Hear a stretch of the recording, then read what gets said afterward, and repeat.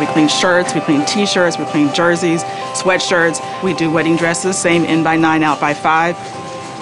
So we're standing in front of the Zips in Elkridge, Maryland. Well, uh, currently we have about 20 employees. What we like about this store is that when the clients, the customers come in, they can actually see what's going on in the production behind me. We have kids that put their noses on the windows and are watching the clothes being processed. We can show them exactly how things are pressed and how they're cleaned and whatnot. We have a pan topper here, like this thing's at the top part. We have a traditional body unit which we press at 100 shirts every hour.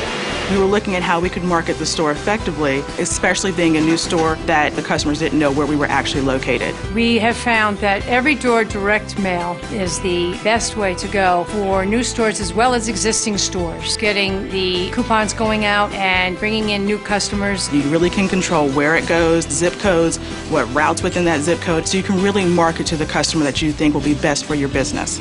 Well, we had a comforter special go out. Normally it's $19.99. If you mentioned the ad or brought the coupon in, we gave it to you for $14.99. We had more than 100 people come in with their mailings, so we grew very quickly for a new store opening. With Every Door Direct Mail is definitely the way to go. And I recommend it to any business, especially those starting out. To get rid of the stains, we'll press your garments, we'll have you looking great. Zip, zip, zip, zip, zip. We're doing it, we're doing it. In by nine and out by five.